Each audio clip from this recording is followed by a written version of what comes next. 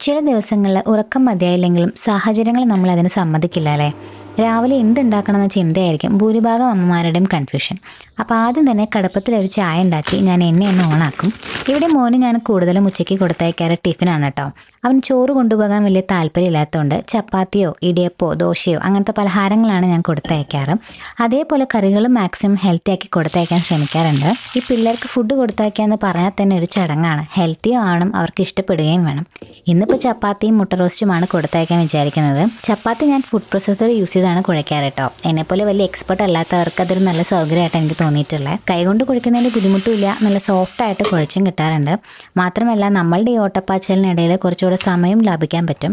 ചപ്പാത്തി കുഴിച്ച് റെസ്റ്റ് ചെയ്യാൻ വെച്ച ശേഷം അതിനിടയിൽ കറി റെഡിയാക്കി എടുക്കും.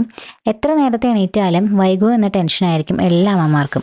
നമ്മുടെ മനസ്സിൽ കൃത്യമായ പ്ലാൻ ഉണ്ടെങ്കിലും ചെറുതായി എവിടെയെങ്കിലും ഒന്ന് പിഴച്ച ഒരു ടെൻഷനാണല്ലേ എന്തിന്? പല കാര്യങ്ങളും ചിലവ് മറന്നും പോകാറുണ്ട്.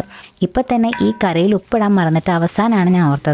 അങ്ങനെ ഒരു ഓട്ടപ്പാച്ചിലായിരിക്കും രാവിലെ. എന്തൊക്കെ പറഞ്ഞാലും കൃത്യസമയത്ത് എല്ലാം നമ്മൾ സെറ്റാക്കും. അതിലും നമ്മൾ സ്ത്രീകൾ പുലികൾ തന്നെയല്ലേ? അങ്ങനെ വേണ്ടതെല്ലാം സെറ്റാക്കി അവരെ പറഞ്ഞയക്കുമ്പോൾ ഒരു യുദ്ധം കഴിഞ്ഞ കണക്കാം തീർന്നിട്ടില്ല. ഇനി നാല് മണിക്ക് വരുമ്പോൾ എന്ത് കൊടുക്കുക എന്ന ചിന്ത ഓൺ ദ വേ ആണ്. എന്തായാലും ബാക്കി വിശേഷങ്ങളുമായി അടുത്ത വീഡിയോയിൽ കാണാം കേട്ടോ. ബൈ